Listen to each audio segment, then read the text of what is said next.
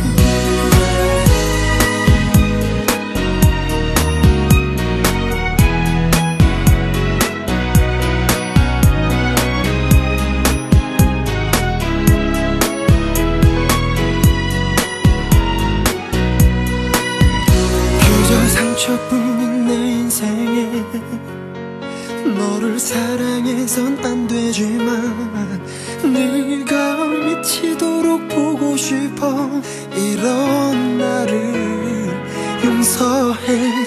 난 이제